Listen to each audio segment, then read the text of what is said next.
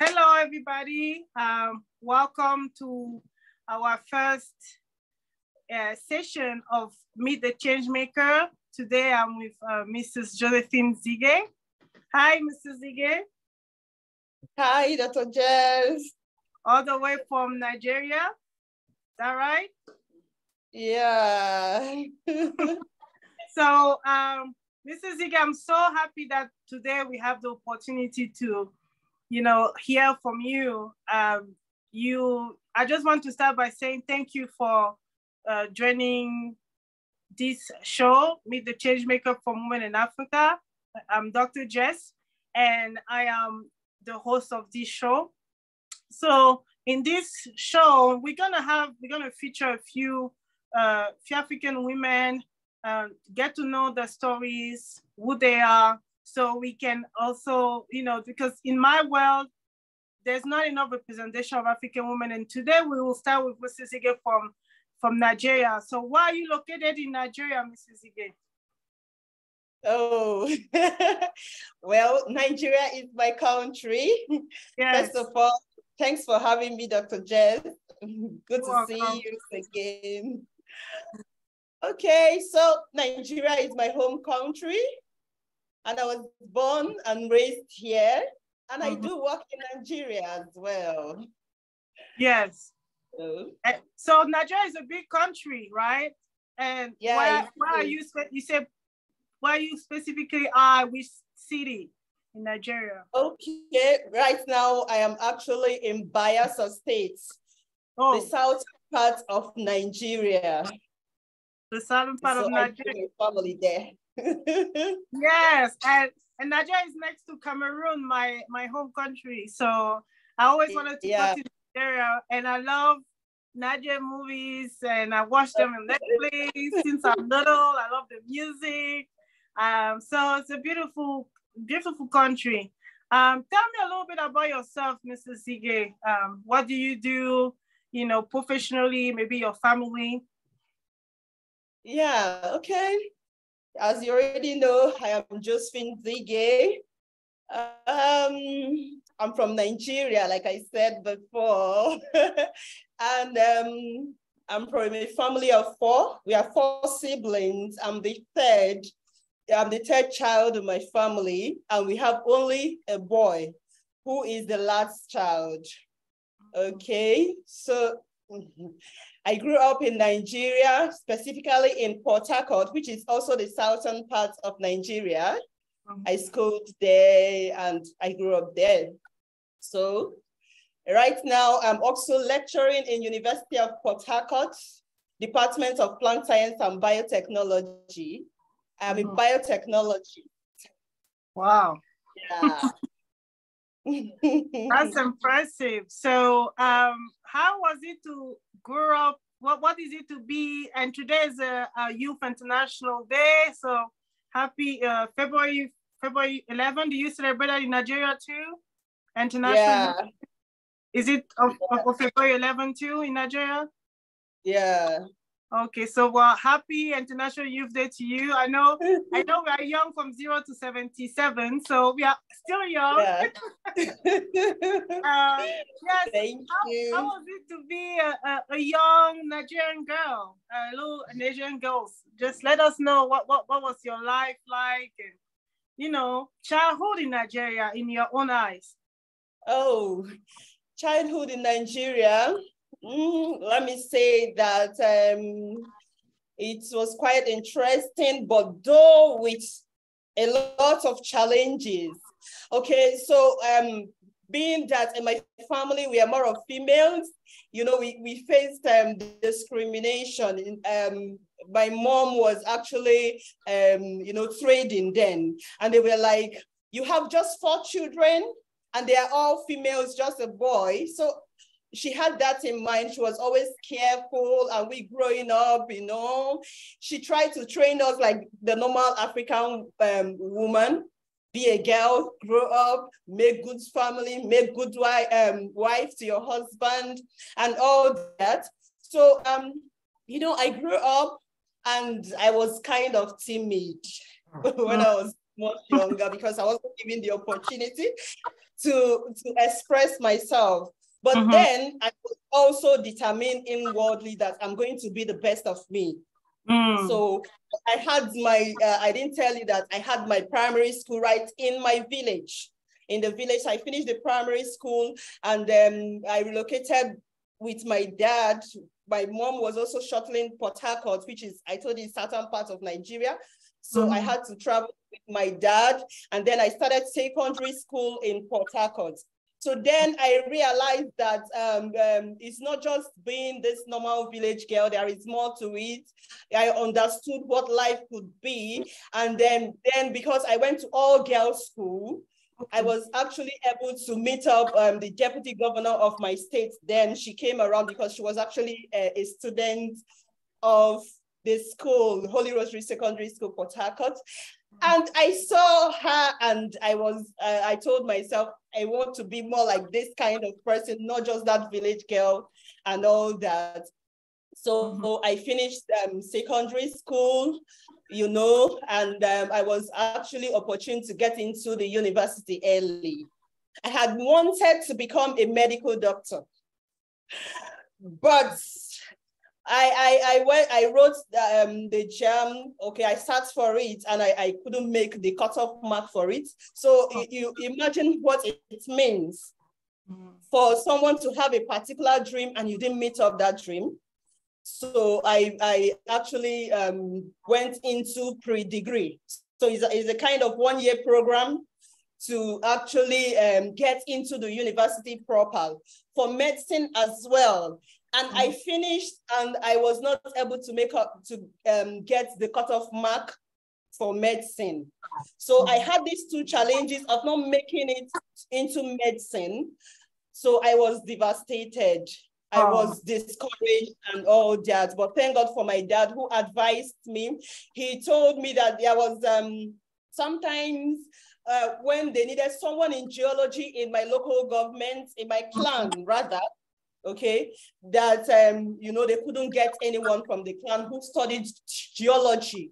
Mm-hmm. So because um, the, the course I read as a uh, biotechnology, biotechnology wasn't a, a, a first choice in Nigeria. Okay, so he advised me to pick up uh, the course. So I was given plant science and biotechnologies for admission instead of medicine he advised me, encouraged me, you can be what you want to be. You know, oh. first choice is like medicine, law in Nigeria, they choose that, accountancy, but these ones are just, you know, discriminated. He advised me to go ahead with, with the course. So I, I went ahead, I studied uh, plant science and biotechnology. So you can imagine the challenge. Yes. Okay. So I graduated and I, I had the dream of studying abroad because biotechnology was um, an emerging course as a then in Nigeria. Okay. Mm. So I wanted something more about it because I became interested in it. Mm. So uh, I told my parents that I wanted to study abroad, and they just they were like, "We don't have the money." Hey. yeah, we it's don't have the money. To study abroad. It's abroad, yeah.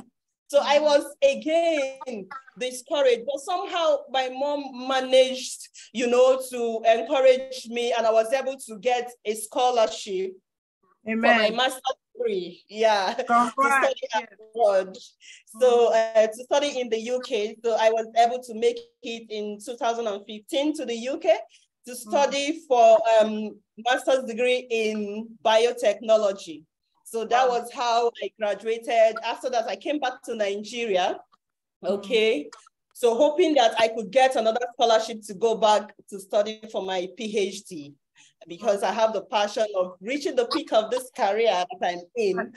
Yeah. So I came back five months after I came back, there was no job, nothing for me you mm. know, mm. and imagine that you have no uh, hope of job and, and, and all, all of that.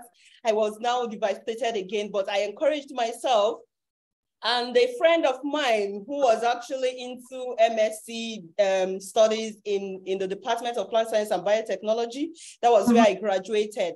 So she mm told me that um, there is an opening. They needed a biotechnologist because mm. the, the department wants to undergo an accreditation. Mm. So I can come to apply.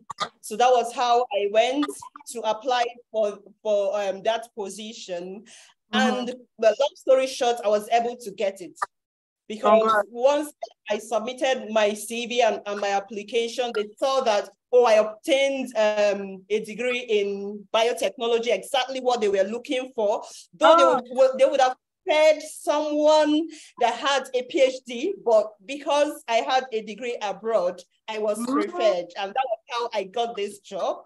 And it has been very interesting. I'm enjoying it. So mm-hmm. that's a yeah. beautiful story the beautiful story. So you've been working in that position uh, for how long yeah, now? for six years, more than six years now. More than six years now. Yeah. And are you do you still have plan to get yeah. a PhD? Yeah, I've, I've already started my PhD. Uh-huh. Okay. In well, the same department in the same department. All the best. So maybe yeah. very soon. I don't know how. I mean, that PhD take a while, but we wish you all the best on that. Yeah. And maybe next time you come and tell us more about how was the PhD program. But this is such a beautiful story. I hear a lot of, uh, you know, overcoming challenges, which is even more important for um, us as yeah. you know African women for the younger generation to know that sometimes it's okay to have step back and it sounds like you have a good positive fatherly figure who kind of encourage you and yeah. your mother made sure that you know we believe in you and that's so important and that, that was the same thing for me i definitely uh, have okay. very good parental support my dad my mom believing in me and it's so important for for young women, for young African women, even older one, but especially young one, because sometimes, you know, we don't, like you mentioned, seeing that deputy, a woman leader, that really spark yeah.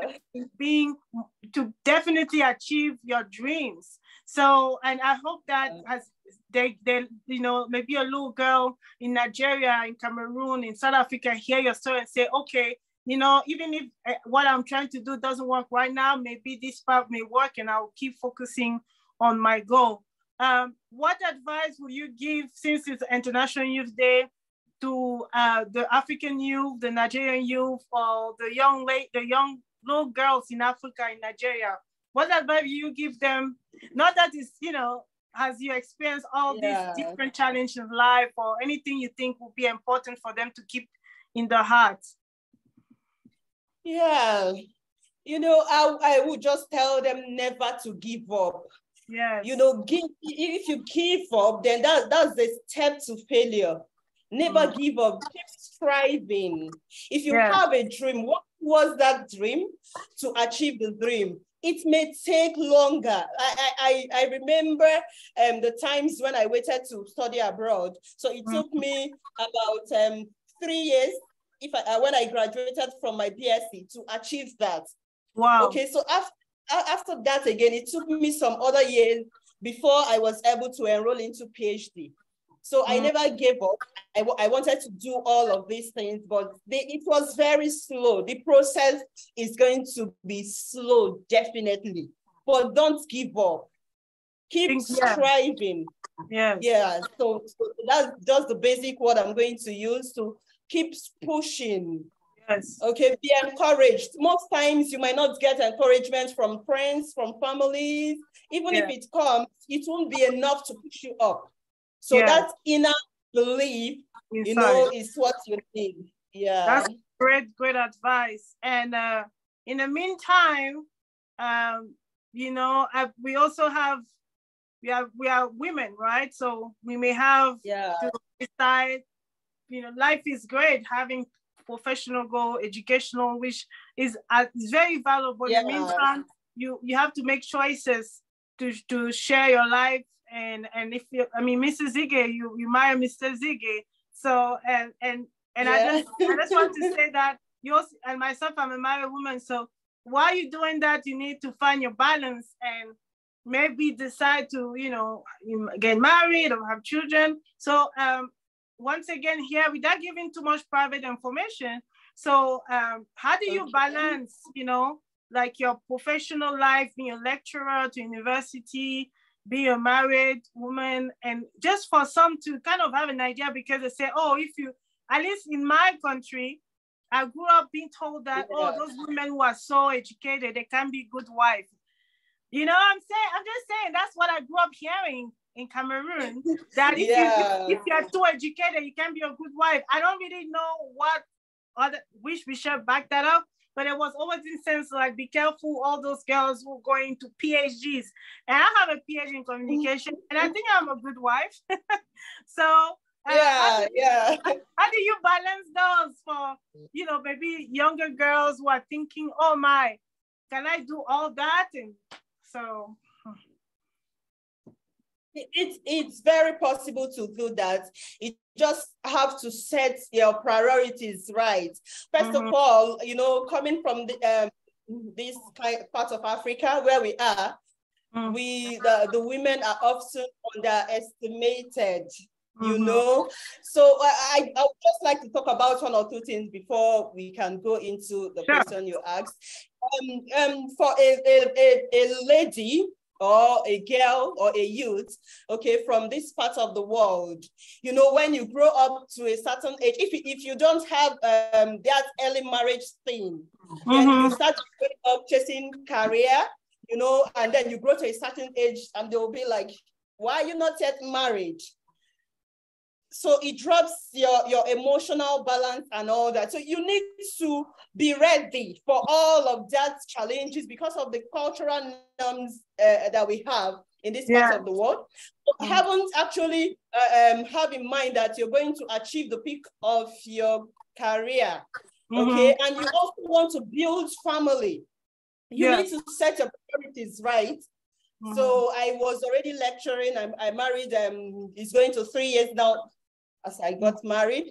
Okay, so I know that I'm going to have time for my family is a priority. My uh, my family is a priority, and then my goals as well is also a priority. So which one comes first, and at what point in time for it to come for for, for you to handle this um um family but uh, and um your your career you know the balance and the education so you have someone who have a family and then you have this person as well having a job, and then the person is actually pursuing uh, uh, uh, uh academics as well. So how can you marry that? Mm-hmm. Just setting your priorities right. So you pay attention to your families when need be. Mm-hmm. Also knowing that the goals that you have set at so, so, so point in time, I'm going to achieve this.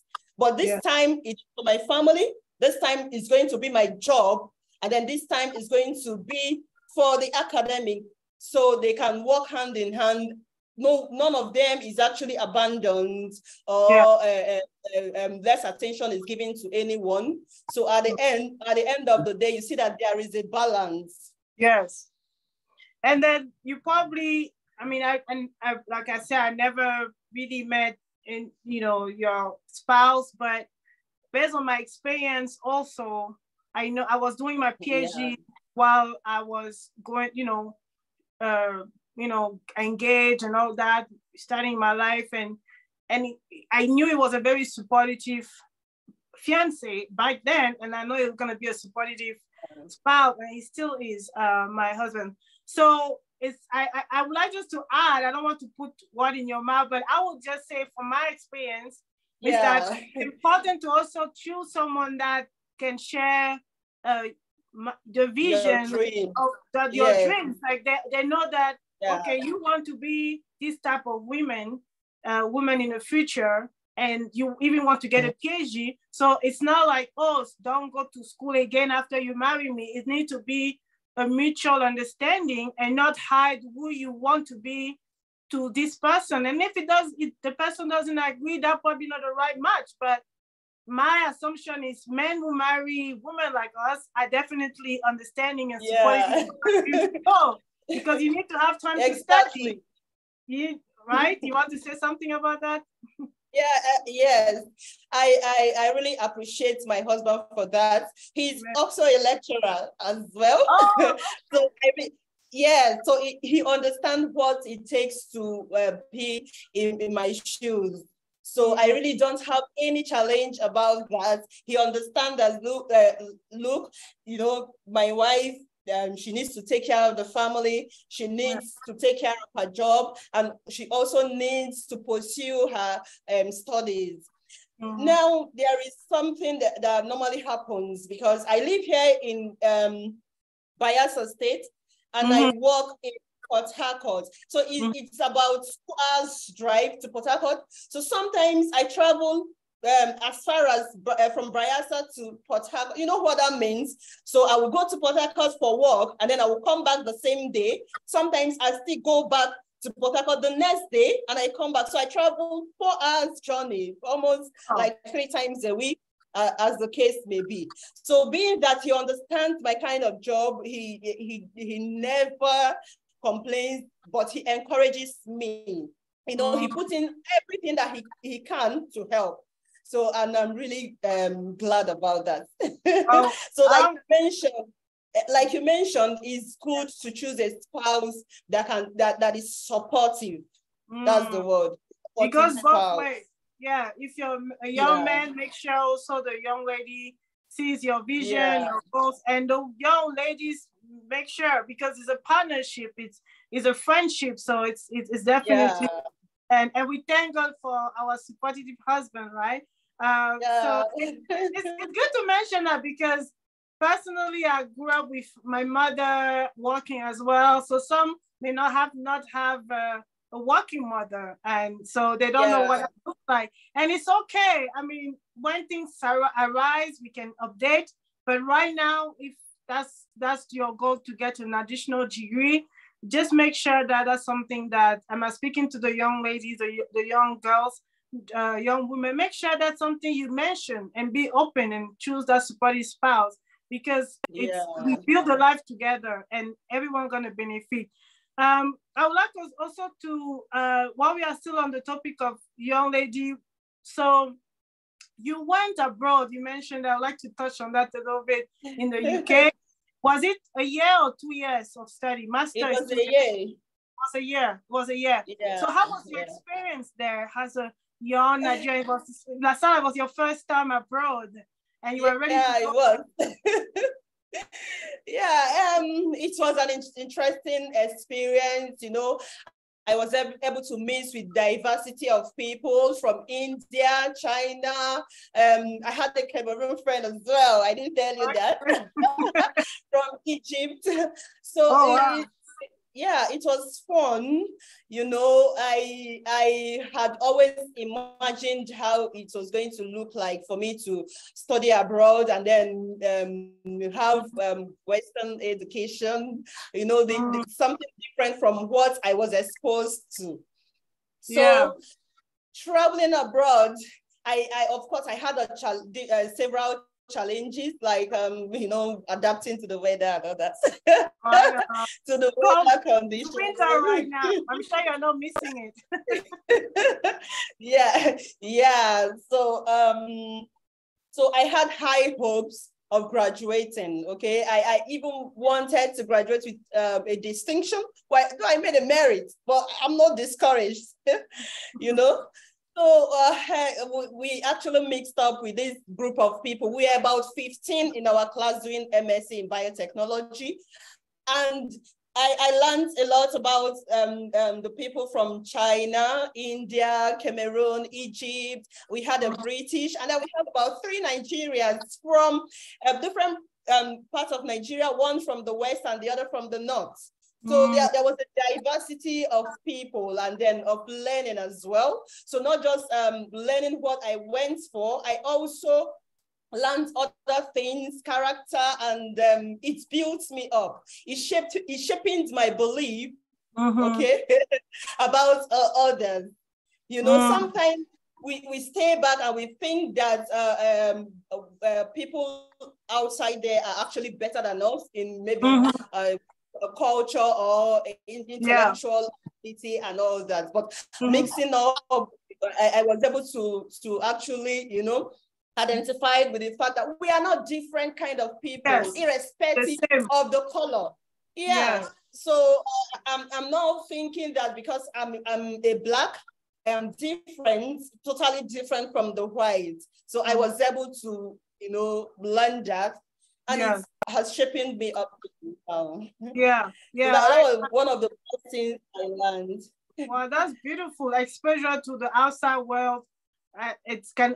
I'm so glad yeah. that there's, there's certainly challenges, but like you said, we are actually so much alike than we think. And it takes, you know, studying abroad and living with people to know sometimes to find out. And you stay a whole year with a diverse group of, of folks. And sometimes even our, con- our countrymates, we can be, we can even think they're different, but we get to know folks and, and say, oh, by the way, so we actually kind of the same people. We have different languages, yeah. maybe different foods we like. And then we start to learn formation and love other culture. Like I say, yeah. uh, in college, I came across Nigeria. I mean, first of all, I grew up in, I'm in Cameroon, so Nigeria is right there. So Nigeria, hi. So uh, I always talk about Nigeria, but I never met a Nigerian. You know, I wasn't. And then when I came to study okay. and got to know, it, it felt like we knew each other, but I knew more. So, um, but it's it's beautiful to hear that, and and that,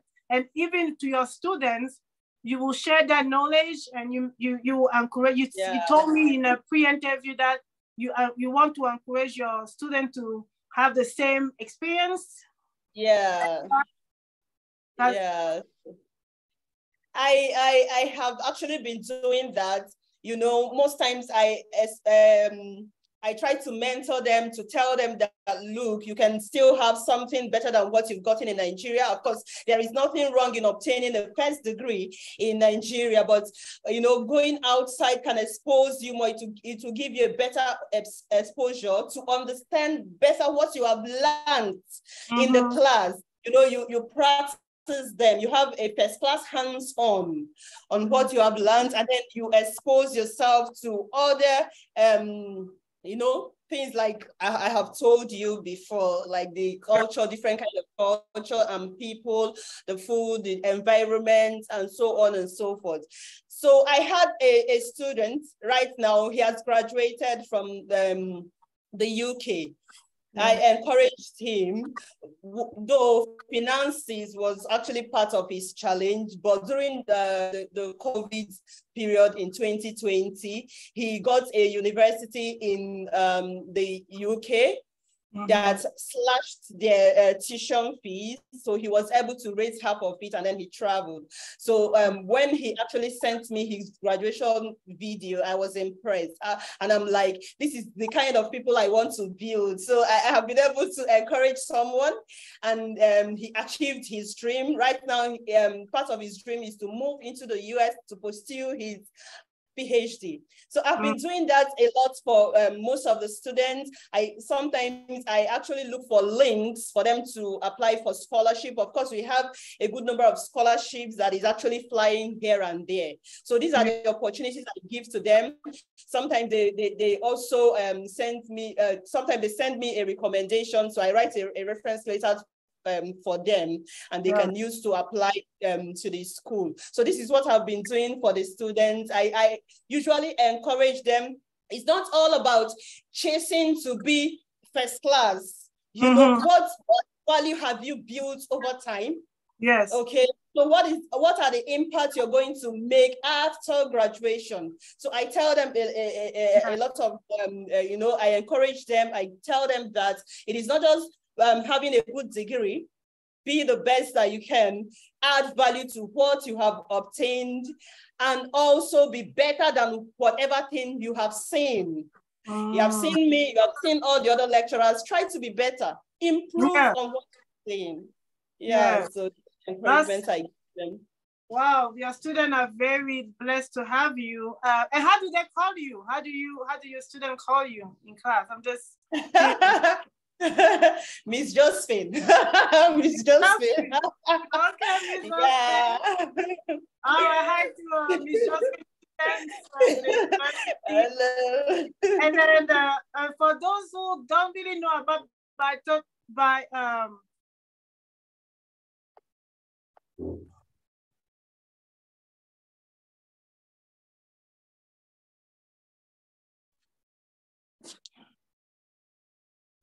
Okay. Hello. I can hear you now. Oh, okay. Sorry, I got a phone call. Um, so, okay, I would, are you, can you hear me now? Yeah, I can. Okay, that's that's the problem with recording, but uh, I got disconnected for a minute. I will make it work. All right. Um. So, anyway, I was uh, asking. Uh, I kind of lost my train of thought. Um. Yeah. In in now. Okay, so for those who don't know what biotology is, what how can you describe it?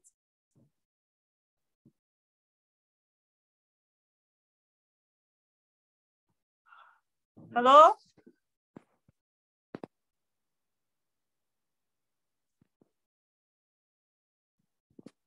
Hello?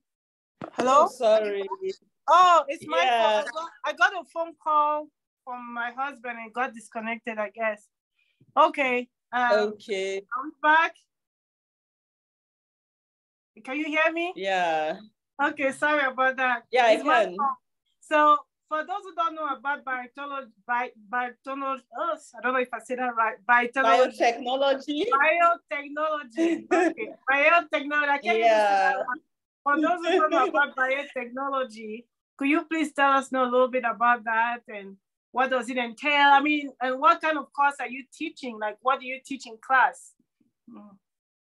Okay, so um, first of all, uh, the courses I teach in class is plant biotechnology, Mhm. um, genetics, molecular biology, um, bioinformatics, genomics. um, I've taken plant breeding, uh, and um, we have a- an entrepreneurship course also that I handle as well. So these are the courses, though I don't take them alone. Most times we're about three uh, lecturers involved in each of the courses. So biotechnology is actually the improvement of um, biological materials. Of course, biological materials could be plants, animals, um, maybe parts of them, or humans as well. Okay, so you use biological tools to improve them. Okay, um, for instance, let me just give an example. If you have a particular plant, tomato, for instance, and this tomato, uh, um, if you get a tomato in the market and you keep them for three days, okay, it, it gets rotten.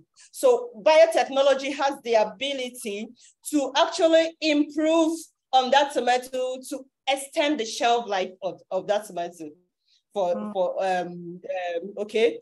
So that is what um, in that area now is you improve that particular um, tomato to Right. have a longer shelf life. So that is what biotechnology does for us. It improves the biological materials that we have. It can be plants, animals, and all that. I don't know if you've heard about gene editing. So this time around, they can remove a particular gene, okay, Mhm. and then it, a, a, desirable gene, okay. Uh, Wow. so this is, yeah. It, it encompasses um, every other part, like um, the, the tissue culture. So you can culture any part of living organism, especially plants. So any part of that uh, um, plants, plants part have the ability to regenerate into the full plant. So for instance, if I have uh, um, a, a particular section of a plant, okay, Mhm. and I have the necessary um, um, media or medium for it to grow. Okay, so I'm going to culture it in, in, in that plant and it's going to give the full um, organism of, of other plants. Okay, Mhm. so this can also be used to improve plant materials. We can get virus-free uh, free plants from it. We can get um, other plants that have desirable um, you Great. know, qualities like uh, high yield, um, high yielding plants, disease-free plants, pathogenic-free uh, plants, and all that. Okay, so this is what biotechnology does. It improves um, um, what we already have in place Yes. for us. Whatever thing that is already existing, it helps to improve it. Wow. Okay. Yeah, that's- so I'm just trying to explain it so that everybody can understand. I hope you do. and then how many students? Yeah. Uh, how many students do you teach? I don't know. Um, like, first of all, for those who are not familiar with the Nigerian university system, how many? Do You, yeah. Are you dividing semesters? Uh, yeah, we, we do. Yeah, so we have two semesters, first and second semesters. So, um, you know, in most cases, uh, students range from 200 in a class to about 300 or less. So it varies based on the session and how uh, they actually admitted. That's so the, the, the, current session, yeah. So the current session we're actually graduating now is about 157 students that's the, the, the, the fourth year students that are going to graduate is about um, 157. Then the um, third year students, they're about 300. So, uh, but I've taken larger classes. You know, when I started, I had to take um, a faculty course.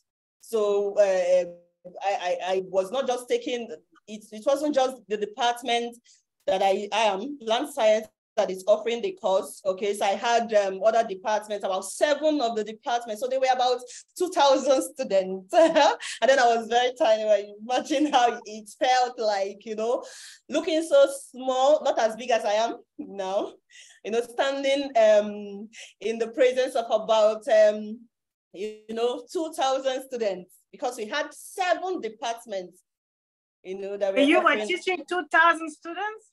Yeah, it was a large class, a very wow. large class. You didn't have assistant? Mega, mega You didn't have yeah, teaching course reps, not um, assistant per se, but we do have the, the course rep that are a representative of the class. So what I do is that, um, or what we do normally is that we tell them to, um, you know, set the class for us, make it ready. So for that kind of class, we normally need a megaphone okay, so that everybody can actually hear yeah. what we're saying. So we, we asked them to get everything in place for us. And um, there we went to take care of the students. Oh, and I'm, I'm, very interested. I'm very interested. Yeah. Uh, and then how many? How long are your, you know, your session? One session is three hours, or I mean, you might as well. Okay, so we, we have a minimum of an hour class, then the maximum Two hours, yes, two hours. So most of the classes are usually what an hour, but if it extends, then two hours. Then it can also be for, uh, let's say three times a week or two times, depending on the credit loads of, of that course. Yeah. Yeah. um, myself, I'm a university professor at Cheatham, like you know, communication courses. So I, I think I'm getting too interested. yeah gonna move forward, so we are not, you know, we're gonna just uh, try to wrap up here um, because so far we have a great, great, you know, great conversation, getting to know you as a little Nigerian yeah. girl and growing up abroad, having supporting family members, your parents mm-hmm. and your mm-hmm. spouse, and now you are working on your PhD. Um, that being said, I have one question. Uh, you can, of course, you can say briefly what you think that uh, will be the issues that uh, African girls and women, or Nigerian specifically girls and women, are facing, and how you think we can resolve them. And and if you have an organization you would like to share, um, that would be a great time to do that too. That you you you lead. Yeah. Um, you know, coming uh, from Africa, one of the things that actually happens to women is that we are often underestimated, sometimes due to the cultural norms or beliefs. So it, it, it, it, it's built into these African girls or African women, and then it hampers their, their dreams, okay? Sometimes poverty could actually play a role. Yes. You know, so once you come to a background that can't actually um, suit your education, then you are already limited. So one of the things, poverty and lack of education, but um, that's not just um, the problems we are facing. The other one is this gender-based violence. Yeah. You know, it, it, it has played into the system and it has affected us the women negatively. You know, mm-hmm. we face it both in the family, in the workplaces, you know, we, within um, uh, the male folk, but that does not mean that we shouldn't actually, you know, um, in, interact with them. But yes. this is one of the challenges that we're also facing. And the other one is uh, female genital mutilation. That's one, though it is not um, you know, usually talked about. It's not something that we talk about, and sometimes it, it is built into our culture that we find it difficult to exempt ourselves. We don't even have a say because this, this, this is what happens. Yeah. So these things affect the women negatively, you know. And um, so in, in Africa, if the woman is not facing, uh, uh, uh, you know, uh, the um, female genital mutilation, is either she's faced with um, lack of education, literacy, yes. she's having that kind of challenge, yes. or she, she doesn't have a voice. So mm. these are the challenges, but we, we need to actually come out of this. If the government can actually uh, put in place policies that can actually alleviate these challenges, then it will help because mm. the government has a role to play uh, in our decision making. Mm-hmm. So if they do that, it's going to uh, go a long way in helping us. Yeah. yeah. I agree with you. Um, That's certainly these are a few of the challenges. That few of the challenges. Yeah. Mm-hmm. And I like your solution, having more of the government uh, involved. And I want to say, and that's my opinion, that yeah. African government need to uh, um, empower this now well a lot of us were educated on the continent, you know, master in biotechnology and all kind of degree, lawyers, doctors. And uh, I think that having more women involved in the government, and that can help the government to also find those solutions. Not to be okay. too long because it was like 1.30. So we were talking about biotechnology. Uh, so we are back with Mrs. Zige and uh, we are so so we have so we learned so much about her um, and how, how much she is a change maker, what she did in her life for herself because it's important that we actually do what we want to do, show to our life, our choices, that we change our life before going to say change someone else. And how she crossed that bridge, she got her degree and she's working another one uh, Mrs. Zige um, or Miss Josephine, like a student call her, actually work on, you know, getting another student and more who are, you know, God's willing, get them where they need to be in their life, maybe young men or young women. So we talk about also how um, the the issue we have uh, on the continent uh, may include uh, poverty, education for girls, and uh, violence, gender-based violence. And this is an important topic that we're gonna have uh, in a very in the nearest future on our platform. So watch, watch for this, for Mrs. Zige to be back and talk about that with us. So it was such a pleasure to having you, Mrs. Zige. Do you have anything else you have to share with us today as we are wrapping this session with you? Yeah, I you asked um, a question if um, I actually have an NGO or something. Yes. Well, it's something I actually um, want to um, you know, starts but with time. Like I said, setting your priorities. So at a certain stage, very soon, I'm hoping to do that. You know, um, um, I told you before, like I said, that I'm going, I'm interested in women and girls uh, and climate change advocacy. So this is what I hope to, you know, um, actually establish in the nearest future so that this, uh, um, I can actually achieve that dream, okay? I wish that women can be educated, women, girls, can be educated, but in general, youth, Yes. Okay we can be educated because um, we need that education, we need that skills, we need uh, uh, um, to actually build up our confidence. Like you said, if we don't build ourselves up, we can't help the society.